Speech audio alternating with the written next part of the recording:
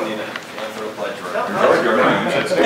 no. Um, And uh, if you guys to introduce yourself to everyone, and um, we'll listen, uh, take what they have, and we should have 15 minutes after we're done between meetings. And if anyone has questions for them after our workshop for 15 minutes, I'm sure they'd be more than happy to answer them. Okay, I'm going to start with just a bit of background. Uh, You guys already know all this for the most part, but just a quick summary. Uh, So based on the recommendations of the town's comprehensive plan, uh, the complete streets movement and the, in 2014, the town formed improvements to our main street. Uh, The committee's focus was to improve walkability and bikeability of Main Street, improve the look and the feel of cohesion along Main Street, and to get more trail walkers to walk through town. Uh, We, at first, we created a short survey for businesses and got responses from about uh, 20 of the 35 businesses uh, we spoke to. Feedback mostly focused on improving sidewalks and crosswalks, improving access to Heyworth Mason Park, reducing speed along Main Street, and improving the intersections of 22 and 22B and Maiden Lane and 22. Um, We were lucky and we received funding from the Department of State through their local waterfront revitalization program. And with that funding, we hired River Street and Place Alliance uh, to develop a Main Street and Hamlet revitalization plan uh, and designs for possible improvements.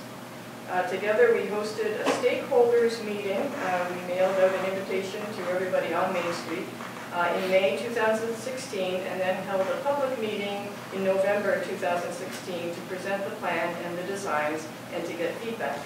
Both Monica and Ian have been great to work with. Uh, They understand small upstate towns and have been really dedicated uh, to get this project going. DOS funding will also pay for a construction project in 2018. Uh, We discussed possible construction projects as a committee first, selected a priority project, and then we presented that to the town board. Uh, Ian will go through in detail of what that uh, project entails. Uh, Throughout 2017, uh, Ian spent a lot of time going back and forth with DOT, but we finally got the permits required for this priority project. We're ready to go to bid uh, once the town board is ready to do so. The match to the funding from DOS has already been met with the investments the town has already put into Main Street and the trail, from the improvements to the town hall plaza, Main Street sidewalk improvements, trail exercise stations, and the dog park. So that was very fast background, and now Monica is going to talk a little bit about the plan that we've been working on. So it's like the comprehensive plan, but just for our Main Street. Right. So I'm Monica Ryan with River Street Planning, and this is Ian from the Unlawful Place Alliance. And we're from Troy and Schenectady, so a little south, but still upstate. Um, So I'm going to just talk a little bit about the plan itself, and then Ian will get into the more design aspects. I'm a planner, he's a designer. Um, So if you, hopefully you can see this well enough. It's Actually, can people see this well enough? Turn the light off or- Maybe it's already- You can shop one day or so near it. This will be interesting. This first slide is just to give you an overview of um, a boundary area. As part of this project, we did have to set a boundary. Yeah, that's better, thank you. Um, We did have to set a boundary, not only for the project, the way it works, but also for yourselves so that you can focus um, what these uh, streetscape enhancements and other amenity improvements to the Main Street area would look like. But when we got looking at things, what we realized is as, as much of a focus as Main Street should be, the interconnectivity between Main Street and then, for instance, the school, campus, uh, the rec trail, the river, the core area, and the interconnectivity of all the neighborhoods is actually just as important. So while we're focusing some of these streetscape improvements on Main Street, there, there's a secondary boundary that also includes a good portion of what, what is the hamlet area of, of Peru. So we do have projects recommended for both areas. Um, And I think that um, one of our main goals was to create a better connection between all of the hamlet. We looked at, to start off the project, we looked at the existing hamlet community, everything from demographics and land use to then the more hardscape development type things that are going on on Main Street. Um, From a land use perspective, Um, The one thing of note, we felt like the neighborhoods were really, the residential neighborhoods were very stable. Um, You have a nice diversity of housing stock. You definitely have a good housing stock for um, young families, empty nesters. Um, And your demographics are actually showing that both of those types of folks are living in Peru. Um, And then one downside we saw to your current land use development is that a lot of your commercial is in pockets. It's not all in one core area. So that walkability to different commercial sites in town is not as cohesive as you'd like it. It's more scattered, Bear Swamp Road, portions of Main Street, then there's skips to a lot of residential. The upside to all of that residential on your Main Street is that you don't have a lot of empty storefronts, which can really make a downtown look not, no longer functioning. So that's sort of the upside to having a lot of residential. But we did, we did feel like everything was in fairly good condition and, and was, it's a pretty nice hamlet land use um, uh, mix with the aside of the commercial being a little scattered. One of your biggest assets we felt were all the community amenities that are within a walking distance in your hamlet. Um, Having the school campus in a walkable neighborhood setting like this is unusual and um, a real, you have a a really nice asset here in that. The trail, uh, even Sullivan Park is technically within walking distance of many residents. So you have a couple of parks, you have Heyworth Mason Park, um, and churches, uh, et cetera, all, town hall, the library, all within a walking distance, half mile radius is what you'd like to see. So you have all of those things now. And then, of course, one of our main focuses was your infrastructure and how everything's functioning. Um, We felt your existing sidewalk system is in fairly good shape. We also think you have a fairly extensive sidewalk system for upstate villages and hamlets. You actually have more sidewalk than a lot of the communities we worked in, so we thought that was a real plus. Um, Looking at how things are functioning now, you seem to have adequate parking for the businesses you do have.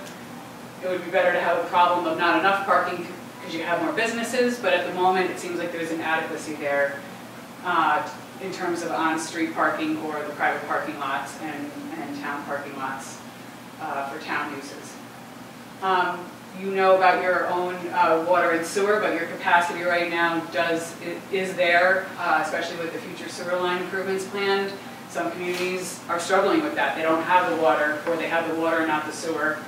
And so new development is a problem, um, and even expansion within their own footprint.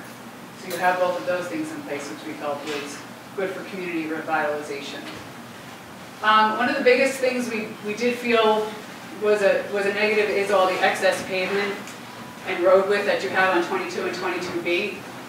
Um, That creates high speeds because there's, there's, all that pavement doesn't slow you down. Uh, And it doesn't create a safe environment for pedestrians, even though you do have a sidewalk to walk on. It doesn't feel as safe when people are whizzing by you. Um, So we did, and uh, bicyclists obviously have the same issue. High rates of speed is not safe for bike, bike or pedestrian. So we definitely felt that was an area for improvement. And I think the community identified that before we even came on board, so that probably is not news. We did identify one location where um, sidewalks don't exist, and that would be in the, uh, at the, um, there there was lacking an east-west connection like to the school campus and then to- more towards Main Street on the north end of the hamlet. So something like Holden Avenue would be a good place to, to run an existing sidewalk connection, um, to really round out that east-west connectivity that you have.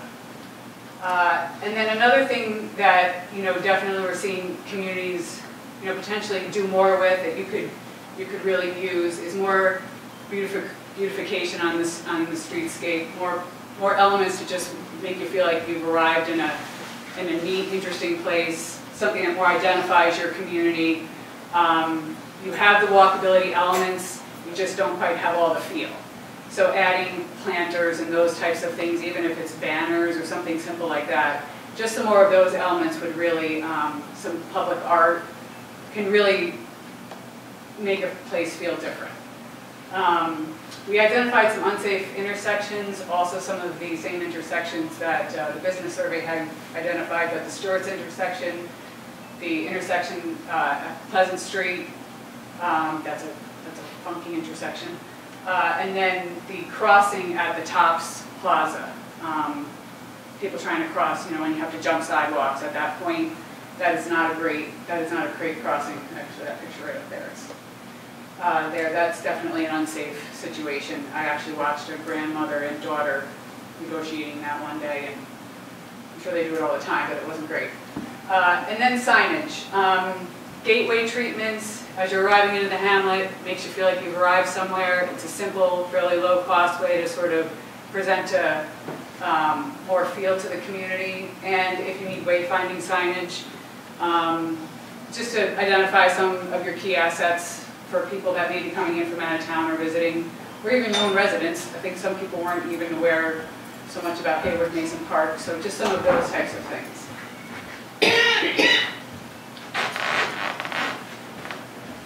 And one of the last things we looked at was how does your zoning work? How does your land management look, uh, work now? Because sometimes communities have a lot of other elements, but if they're not, and they're wondering why they're not getting development, well, sometimes your zoning can be a little out of whack with what you want to do.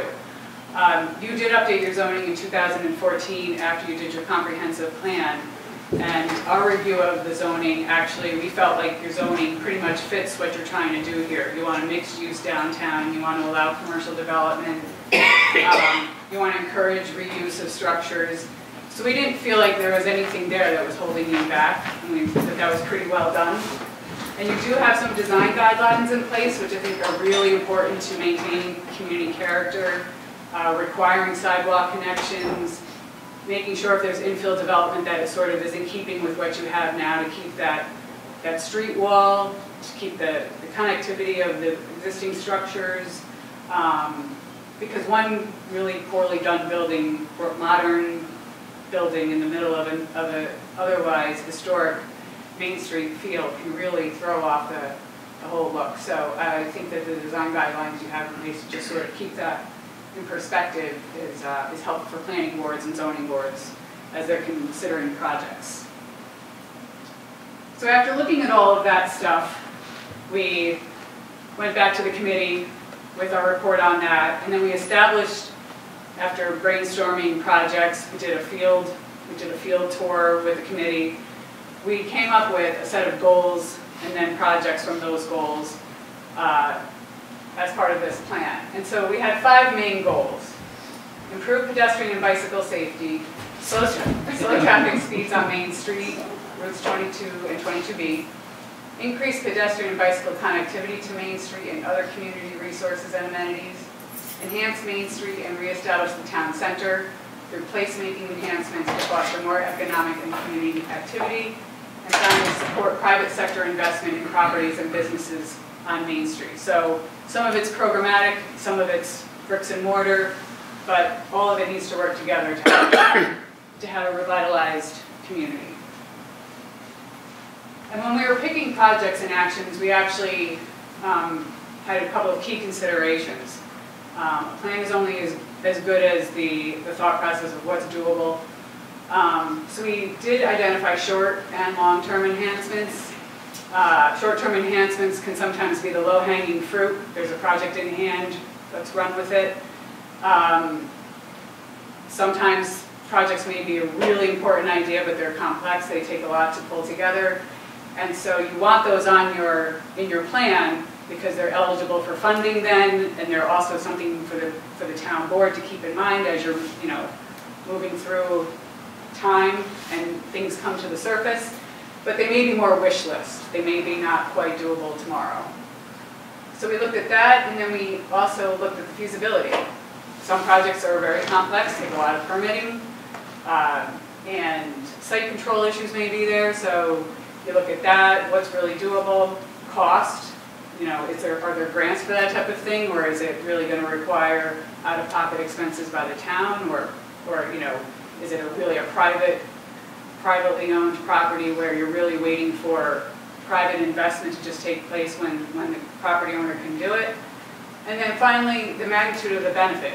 Is it impacting enough people to make the project worth it? Who benefits from that, and how, you know, and- and how many people can, can really see the impact? And then lastly, knowing about the sewer line upgrade, when you're talking about streetscape improvements, you want to keep that in mind, because you don't want to rip up a street twice, right? So, just in thinking about everything, you're constantly kind of keeping your sewer project in mind. I'm going to run through a couple of our um, key areas of recommendation that were more programmatic and a little less uh, streetscape specific, and then I'm going to turn it over to Ian.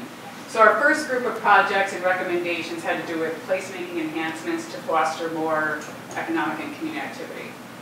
Um, So we would suggest, and this is what a lot of communities are starting to do, because the, A, it's economical, B, it brings the communities together and it brings key, key partners into a community, is to local, to collaborate with local artists, um, to install public art at gateways.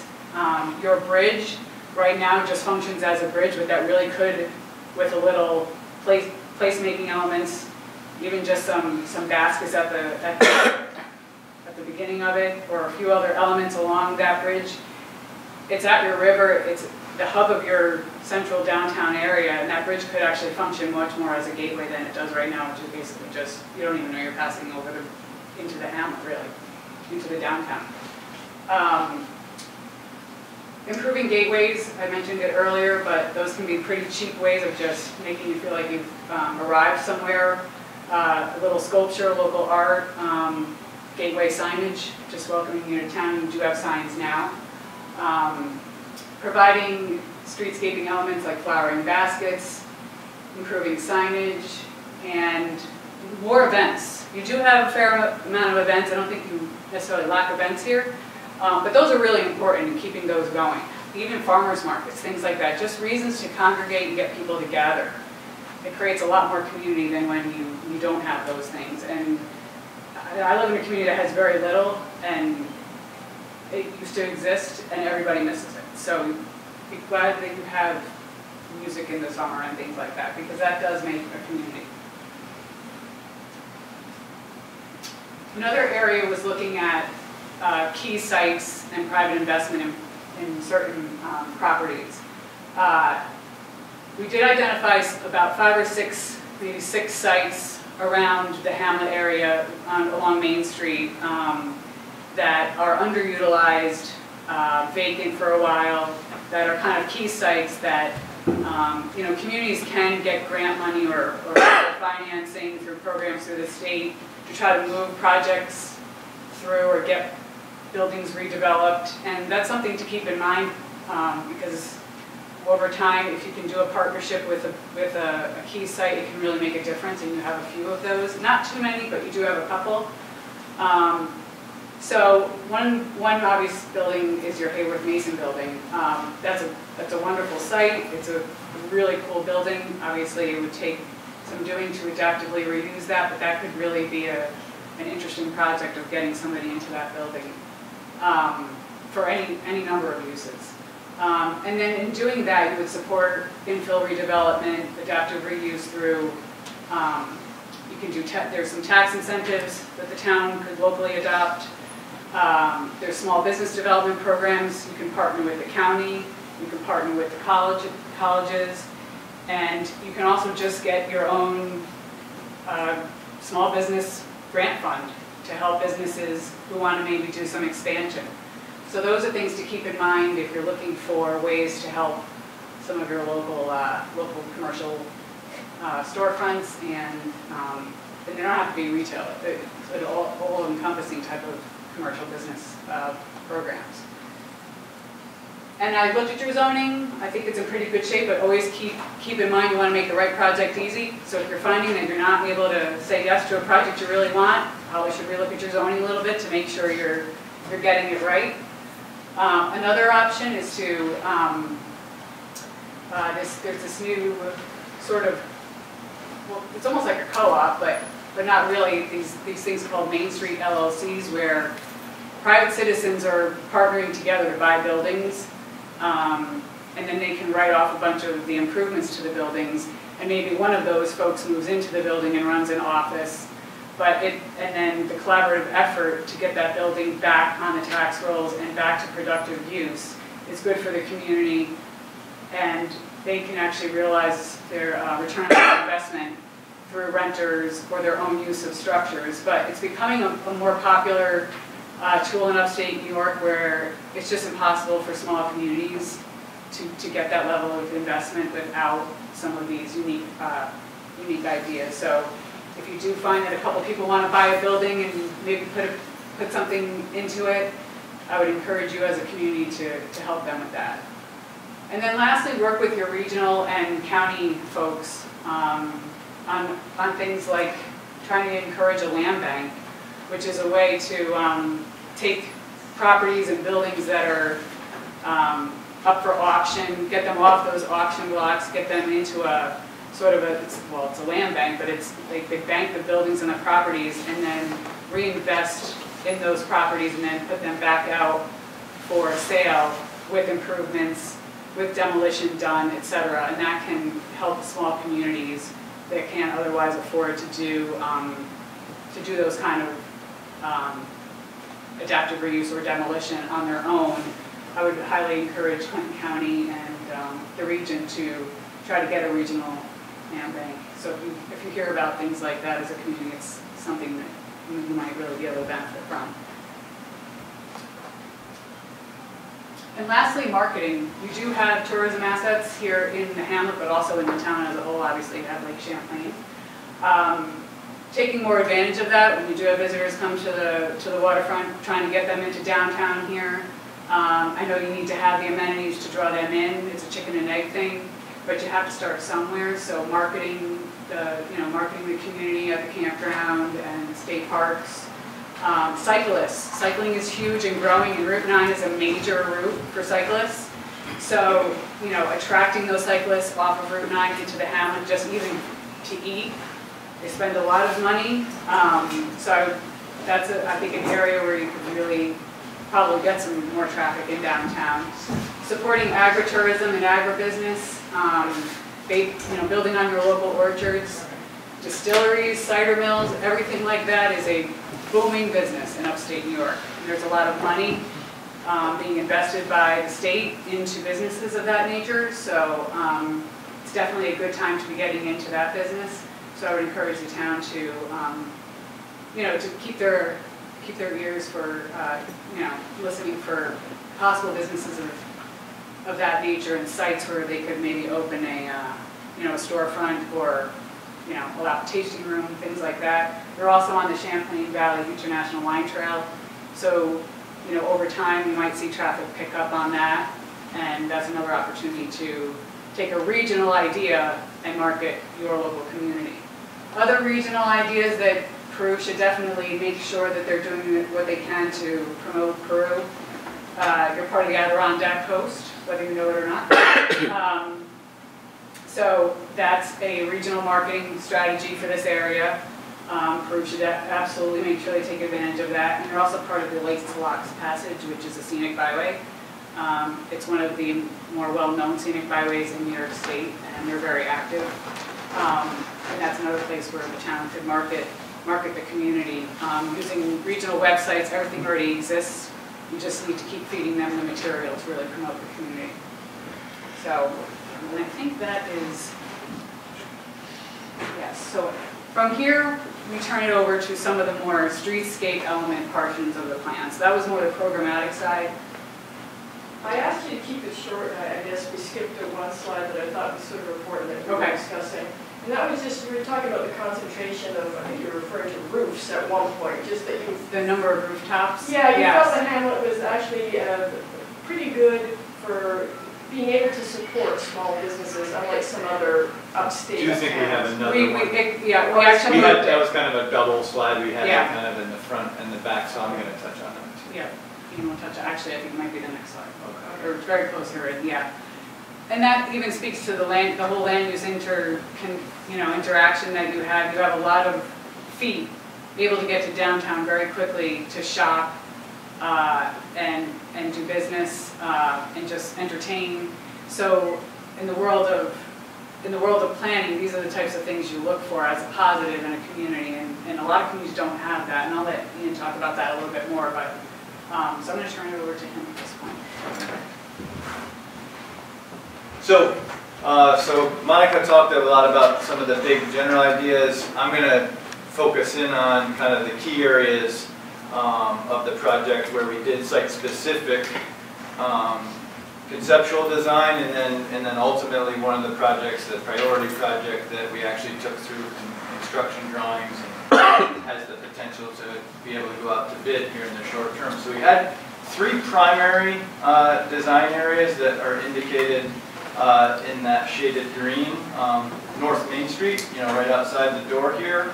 Um, The intersection of 22 and Maiden Lane by by Stewart's there, that fun intersection that everyone loves uh, to talk about so much because it, it justifies that conversation because it's, it's not safe and it's very difficult, um, both for the ambiguity for vehicles, but also for- on, on pedestrians and the overall connectivity of the hamlet.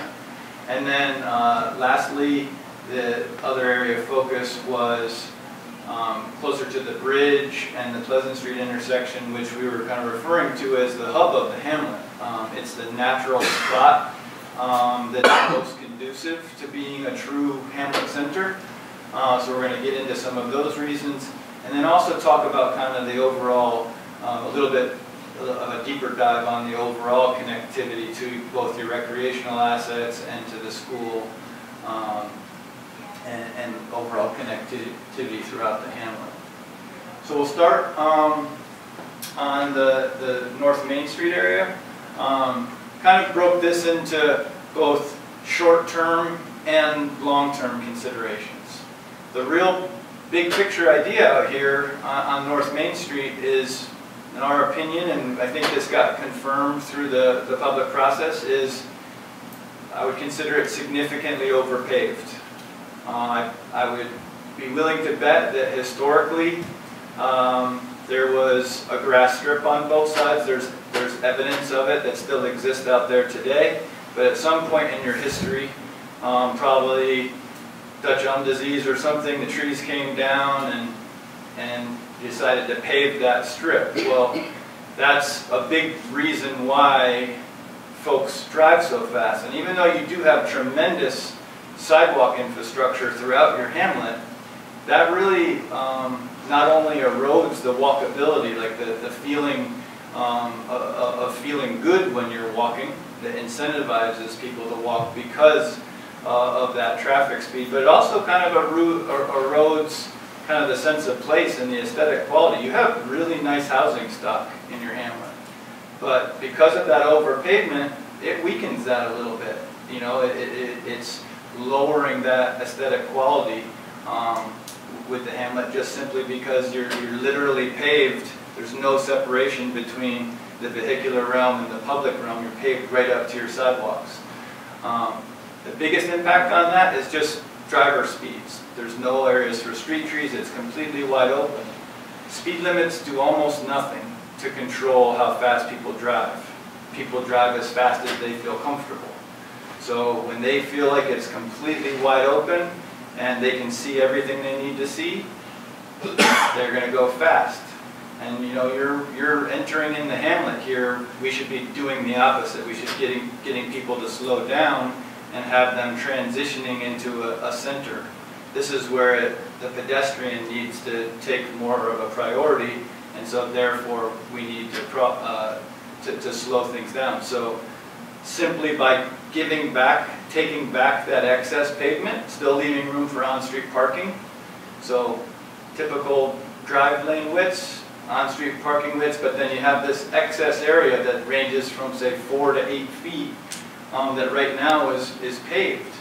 And so sometimes you literally see people parked all the way almost to the sidewalk. Um, and again, um, when, when there would be an opportunity to kind of green it up, um, from a stormwater standpoint, it'll slow the stormwater down. Right now, everything is just kind of a paved swale, so uh, it, it's making its way um, to wherever the outfall is very fast, so th this will improve that.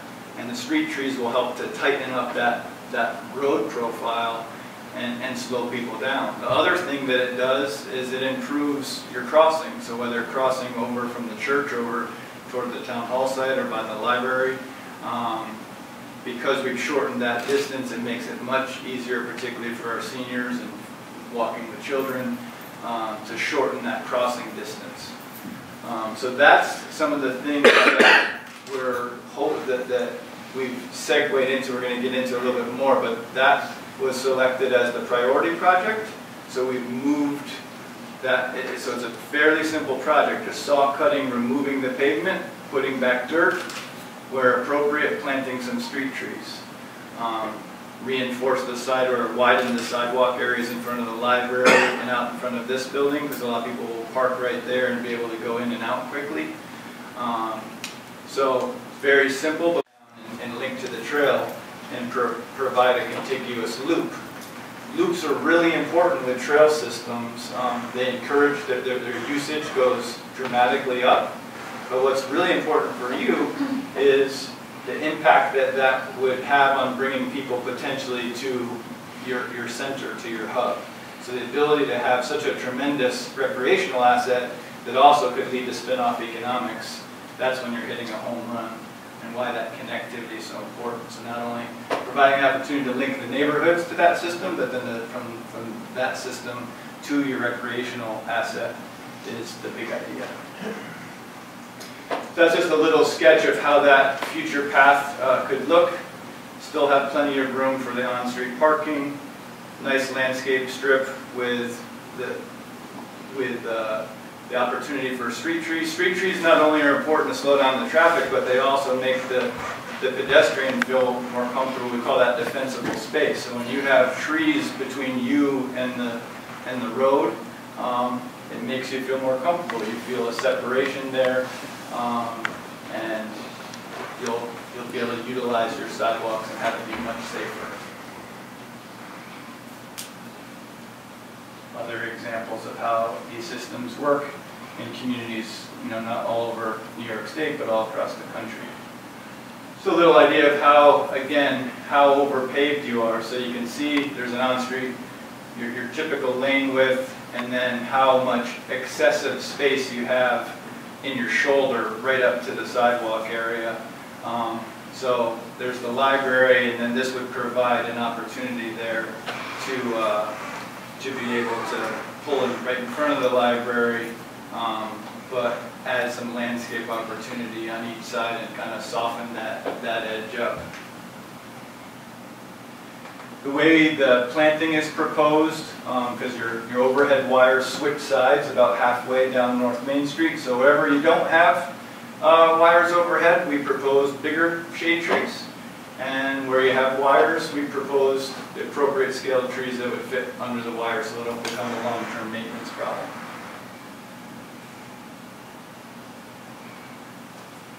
So now we're going to get into uh, the intersection um, of 22 and and Maiden Lane. Um, How many of you have had trouble negotiating that intersection, you know, walking and trying to cross? So we've been out there uh, different times of the day, different times of the year. Um, Essentially, that's the same problem, it's overpaved. Um, The, the- road geometries, the way that white line is striped, it allows cars, trucks, and and tractor trailers to take that turn at excessively high speeds. So the proposal is very simple, um, to basically take back any excessive pavement, um, curb the white line to make people honor, to make people honor it, um, and shorten the pedestrian crossing. So make, make sure all the trucks can make their turns safely, but just at a much slower speed.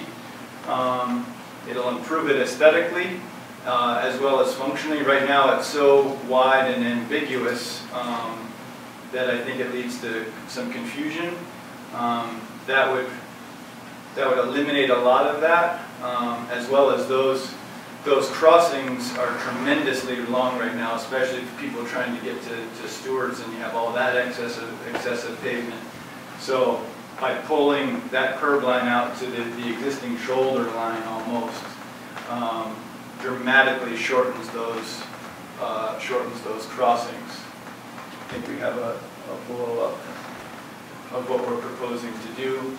Um, we believe that in the future, as this piece gets studied further, working with DOT, that um, having uh, a stop in both direction was something I know that the committee um, expressed that that, that would be ideal. Um, I think DOT, just that, that part they would have to work through. We, we believe that that would be the right thing uh, to do as well, to really force people to, to stop. You know, the, the geometry of Maiden Lane also coming into the picture create, create some, again, some ambiguity of who has the right of way. Um, But we think tightening all this up will uh, help alleviate some of that as well. Um, As it turns uh, to, the- to the south and, and southeast, uh, and Main Street extends, um, we also want to continue that trend, similar to what we're doing on North Main Street. That same thing happens uh, essentially all the way down to the bridge where that, uh, it- it's excessively paved. So without um, still leaving room for on-street parking, but being able to uh, take back some of that pavement again, get those street trees back in there to help slow people down and increase the aesthetic value. Um, Also in places like Stewart's, you know, that whole area doesn't necessarily have to be paved wall to wall. If We could make sure they have plenty of wide access points, but does the whole, you know, couple hundred feet of pavement, is that necessary there? Um, Because that becomes a really big gap for someone using that sidewalk of having to kind of negotiate that when someone can pull in at any point along that stretch. If you, if you make their access points limited, then everyone is on the same page. Drivers know where they're pulling in, and pedestrians can anticipate where they're going to be pulling in.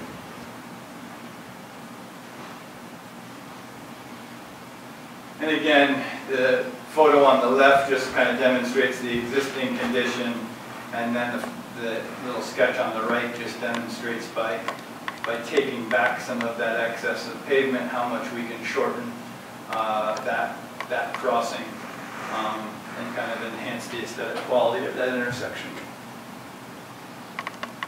And then uh, the next area, we're calling it kind of the, the Hamlet Hub or the mixed-use hub, uh, just on uh, the other side of the, the bridge there. Um, as I mentioned before, this is, let's see, it. there we go. I'm going to hop back. Um, so as Adele was alluding to and, and Monica, um, you have a tremendous amount of street connectivity, sidewalk connectivity, and rooftops within a five-minute walk of this center hub. And in the design and planning world with Hamlet revitalization, that is a critical factor. That five minute means that's what people are willing to do on a day-to-day basis in their life. So most hamlets would give anything to have what you have. You add the fact that your school is within that same walking distance, that's really a home run. That's a tremendous quality of life thing that you can market and sell. The piece that's missing, really the only piece that's missing in your hamlet is a nice charming little hamlet center. You've got Bear Swamp Road and kind of typical commercial auto-oriented stuff, but you don't have anything that's capturing and taking advantage of all those rooftops that are within walking distance to what could be a very small, appropriately scaled center that kind of demonstrates the quality and identity, identity of your community. And we think that you have uh, kind of the framework to, to build on that in the future. So let me go back one. So again, we're, we're talking about the area of the existing hardware store, and then on the other side of the streets, those clusters of three buildings. Um, there's a fabric there um, that I think is perfectly scaled. A lot of times, hamlets like yours may have had a heyday where the infrastructure of their downtown expanded to a point that whatever time, whenever that industry that led to that heyday declined, you're left with all of that infrastructure to maintain. And so it's very hard to revitalize when it gets strung out too far because these types of things are meant to be clustered together, that feed off of one another. So you get out of your car once, and you might be going to the bakery, but the coffee shop's right there, or a sandwich shop, or the antique store, whatever it might be, catches your eye on your way. And, and so they're all intended to function together completely differently than it's intended to function on Bear Swamp Road. Um, so again, that's why it's so critical that we take advantage of that sidewalk connectivity and walkability from uh, your neighborhoods. So what should a Hamlet Center be? Well, it should be architecturally attractive. Um, Again, this is a place that is intended to bring the community together. This is the place that when folks come out of town, this is what's going to identify you. This is the, the heart of your community, who, who you are. Um, Again, it's got to be pedestrian friendly. That's the nature of that level of commercialism versus what's happening on Bear Swamp Road. And the businesses, you know, should be thriving. That, that's the goal. Opportunities, again, to bring the community together, um, to get out of your car and, and uh, hit multiple things in one stop. Or as you're going, walking to the park to be able to grab a coffee, taking your kid to the playground, walking to the trail, all of those things, take advantage of that. And ultimately a place that you're proud of. So simply all we did in that, and again in that little stretch was just give it some definition. Add some curbing, some on-street parking, some more generous sidewalk zones, um, potential for parking in the rear, because the idea is we're going to make this park extra special, and it's going to need more parking than just what's available on the street, even though there's plenty of on-street parking that, as you, as you go north. Um, But being able to cluster and share some of the parking behind buildings. Um, It's in the benefit of those, we know that those units potentially have, could have residential above, um, but they're sharing that parking during different times of the day. Um, In this particular sketch, again, it's a longer term, um, but we've shown even as the market drives it, the opportunity for future infill um, on that key corner. Uh, You know, that's, that's probably the most predominant corner um, in the Hamlet core. So if ever the market got to a point where you could support new development, that would be a, a, a logical location. It Doesn't have to happen, everything could happen without that. Um, But it's important with these kind of things, these longer term ideas, to understand that, that things change over time. Um, Folks will- might be ready to sell or retire, and all of a sudden that becomes an opportunity site. Um, So keeping your eye on the bigger picture, the greater good of what the community needs. Um, In my professional opinion, that's what your community is really missing, is kind of the there, there of who Karuba is. You have so many other really tremendous assets, but you're missing that nice little walkable center. That, to me, would kind of complete the, the package of a really marketable, quality community. Um, But what can we do in the short term that can help some things? Right now, um, the sidewalk system ends just to the north of that hub. And so there's a gap between, uh, particularly on the east side, um, between there and the park and there and the trail and these existing businesses, it just stops. So, um, you know, as many of you probably know, that pavement uh, in there is, it's really not wide enough to have efficient parking.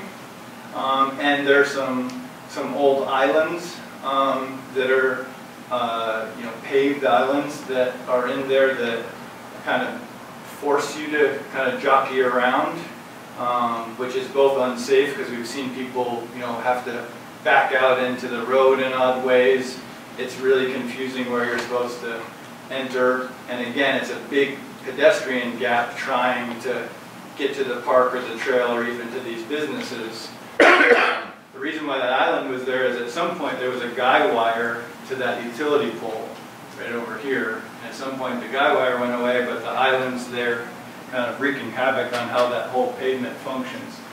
So something simple would be just to lop off that island because it's no longer functioning the way it did.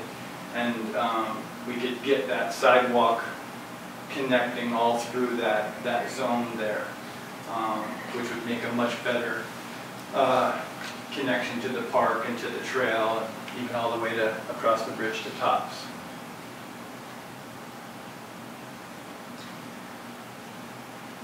So we're kind of upside down here, but just to demonstrate the, here's Little Ausable Park, the bridge, there's the hub area we're talking about. The sidewalk ends right here, and the trail, you know, runs along the river under the bridge. Um, Getting an accessible route down to the trail through the park is pretty, pretty tough, um, and potentially costly. We think that there's an opportunity on this side. There's an existing retaining wall that's kind of hidden in the vegetation there. And I think you could utilize that really simply to sneak the trail right from this green space right down and connect to it um, in a pretty low-cost way. You probably could even do it in kind. um, That could go towards match on future projects potentially. But um, that would, again, be a great way to create a loop within your trail system that brings you right to this hub and, you know, lead to future spin-off economics. The other area within this zone that we wanted to focus on was the intersection of Pleasant and Elm. Uh, Right now, there's a lot of ambiguity there where those two roads fork and come back to Main. Um, And we think there's a pretty straightforward uh, solution. We think that Pleasant should be kind of the primary uh, road there. And simply by uh, pulling this curb line and making Elm tie into Pleasant in a more perpendicular way um, can give us a nicer entry into the park. Um, By creating this buffer, it gives the priority back to, from a hierarchy standpoint, back to Pleasant. So it makes that whole intersection much more straightforward and, uh, and easy to understand both for for drivers and pedestrians. Um, as well as, you know, in combination with these, any future improvements in the hub, um, again, would shorten and clarify that crossing. The other thing that you'll notice as part of uh, this sketch is that we're talking about putting sidewalks on both sides of the bridge. Right now, you just have the sidewalk on one, um, and there's plenty enough room on the shoulder um, And we had some preliminary discussions with DOT about thinking could it handle the weight of pulling, you know, adding a curb on the other side and sidewalk zone. And we think that that's a a feasible thing to pursue in the, in the future. Um, Which I think would, again, help the connectivity into your hub, but also to one of your other economic assets in your grocery store. So, on thi- this side, if, uh, you know, if we take back a little bit of the shoulder on each side and balance it out, not only will it slow the traffic down on the bridge, but it'll provide the opportunity um, to have pedestrian connections on both sides. As Monica said, you know, in every community we work in, one of the things that you want to do is look at what you have. We have this tremendous asset in the river. It's, it's beautiful, but right now you just have a highway going over it. Um, Looking at how, how you can turn like a physical element of something that you have into uh, a- a- an asset that contributes to who you are um, and plays that role of a gateway um, is, again, that, that's kind of low-hanging fruit of something that you could do to enhance something that you already have. And again, it's simple things like just hanging flower baskets or signage, putting some architectural columns um, on each end that could have lighting. Again, you can go as crazy as you want to go, but it's an opportunity that's kind of just sitting there. Um, So you could make it both functional, um, and also kind of lead to the overall quality that, that lines up with the quality that that you already have throughout the community. Um, Monica talked about the sidewalk connection from, from Holden. Um, This neighborhood, uh, again, we've got all those rooftops, but the, the kind of the northern piece of it is, a- is missing a little bit of the opportunity to kind of link back to, to Main Street um, in a safe way. So down the road, um, sidewalk uh, extensions in that neighborhood uh, would be helpful and recommended. Um, And then, again, the, th- this is, uh, I think, getting towards the intersection of, uh, at Bear Swamp Road, getting back. Um, Already seeing some reinvestment um, from the last time I was here, which is great. Um, But as you kind of move down from Pasquale's on both sides there, um, you're, again, it's getting overpaced. And you kind of lose, even though there might be sidewalks in place, you lose uh, that walkability because you're kind of right next to that high-speed traffic. So looking for any opportunity you can to take back some of that pavement, get some defensible space between you and, and moving steel is something that is, is a simple, fairly low-cost uh, thing to do that will slow traffic down, make your community more walkable, and make it look a lot nicer.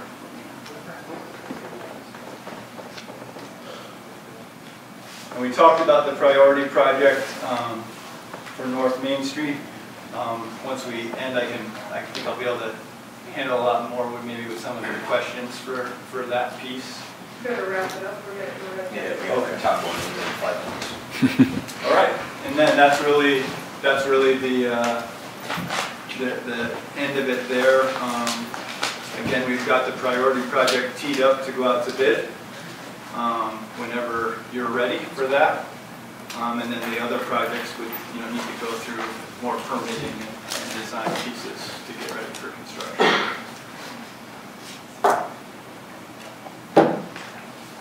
Any questions right now? No? The first part that you want to go out to bid for would be which part? The, uh, the north, uh, the North Main Street piece out here. That's basically from the Dollar General all the Starting way at to the intersection. Center or at the Dollar General end? Well, that would be the entire project, it'd be the whole thing from there, both sides of the street. So you think hundred and twenty thousand will do the whole thing? Yeah, we think, we, that, we- we think that you'll actually can probably get, I would get, bet the bids are gonna come in a little under that. It's really, I mean, it's, it's literally just saw cutting, removal of the pavement, adding some topsoil. So primarily when you're saw cutting, um, how many feet out are you thinking? Three feet, four foot? Uh, it probably averages between four and eight.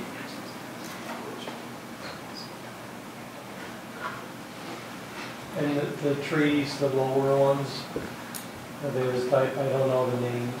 uh, Sure. run The roots go deeper into the ground so that they don't pop back up and push up on the tarmac? Right, yeah, I mean, we, we can, uh, the, the, the trees that we would be recommending both would be salt tolerant, we know, we know they're gonna end up with a, a, a lot of snow on them. Um, and they're, they're typical street trees that are, you know, on the DOT approval list. Um, That I think would be the appropriate for the, the smaller ones that are under wires and then the ones that aren't under wires that would get a little bigger. And the placement of the trees were under consideration as to the driveways for people that have to pull out so that it's not blocking, so that if they're backing out into traffic. Sure, I mean, with th- those uh, kind of things, I mean, right now, we kind of ha- have a a- a rhythm on there, but we'd be happy to look at, um, you know, those are the kinds of things that we can make on-site um, adjustments to in the is one thing on the trees. Sure.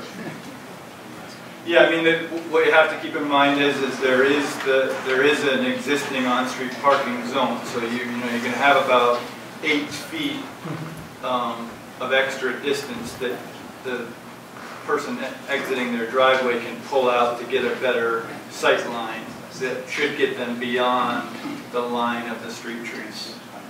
That's fine, that's all I have, questions at this time. No? Just first year, you gotta water these trees, uh, that's gonna be town's responsibility, I assume. Yeah, I mean, we, uh, we- we've been talking about that potentially, um, with the, in the spec, we could require, um, that the contractor, um, provide watering for that year. I mean, they're gonna be having to guarantee them for that year, uh, anyway. So we could write a more stringent performance spec that during that establishment period that you're referring to, we could make that a requirement as part of the project, and if it, if it was something that the town didn't want to take on that burden. So that's something to consider, uh, of how we would want to word it. We could make it so that, you know, once we've gotten through the punch list and the contractor's kind of done, that the town takes over that responsibility, but we could also build it into the bid. Um, with the ins and outs of the tree lines and all of that, that's also gonna have to line up with your manhole covers as they currently exist, right? Yeah, I mean, there's very few, there's very little existing uh, structures out there, and we, in working with DOT back and forth, um, we've maintained all of those existing things. So predominantly, what's happening now is it's a paved swale through that excess parking, that- that that excess paved area is basically a paved swale, so the water, stormwater is making a beeline to the outfall area, which is on the other side of the street. Um, This is gonna slow that down a lot, the grass is gonna let it naturally infiltrate, it'll, it'll slow it down some, but we're not, we're not uh, impacting any of the existing stormwater infrastructure. Uh, one last question, we removed, Dell, last time we talked about the granite curbing, Uh, I don't That's gone. that is gone, that is off that. There was a misunderstanding about the grant, the, the It's not raised now, I asked that tonight, because that was a big thing, because being raised, I talked to Mike Farrell about it, and, you know, he said the first time the plows go through. Talked to Ian tonight, that is flush. The sidewalks in this area are, are sitting, the existing sidewalks are sitting pretty low, almost even with the adjacent pavement. Um, So we don't have the ability to elevate the curb there anyway, because then we'd be ponding water on the sidewalks, I wouldn't want to do that either. So for the most part, all those areas, that's, it's all going to be a flush connection where we have those two areas up here in front of Town Hall and in the library, where we've just kind of doubled the width of the sidewalk in that zone and kind of in those drop-off areas. Um, And just did a flush granite curb, just to be a more durable material between the the pavement and the sidewalk. Um, You give that sidewalk something more durable to A little bit to run up against. Yep. And we, you know, we, we do streetscape projects all over upstate and, and have found that, um, I mean, plows beat up everything, but the granite will hold up better than the concrete curb will. Um, So even if it were raised, I still think granite would be the right choice, but in this case, it will be flush, so it it will take much less of, less of a beating. Um, When we talked last time, we removed that granite as part of the pricing on that. Yes, So we did. Pricing that. Yep, we did, and we also talked about straight cuts. Instead of Instead of the, the The radius cuts, cuts into the we driveway, straight cuts just, to, just uh, chamfer the of an cuts. expense. Yep. Because those were the questions I had about the straight cut. And as far as, like Jim said, the size of the trees, uh, DOT, they work with, you. I mean, you certainly don't want big trees like that, uh, you know, coming out of uh, driveways and stuff. Yeah, I mean, when, it's gonna be a long time before they, Yeah. before they get to, to that point, but, you know, what I would say that's counter to that is ultimately, you know, and eh, this, this is age-old Main Street USA, you know, those big trees, again, that they are, they do create a little bit of a visual barrier, but that's what's making the driver slow down, because they don't think that they can see the whole world. It forces them to slow down. It's just like when you go through a dense downtown area, and you've got both street trees and uh, decorative lighting, all kinds of vertical elements that providing visual screening to everything, but that's why uh, in those areas, you want it to be really tight because it really forces the drivers to slow down and be more mindful of their surroundings.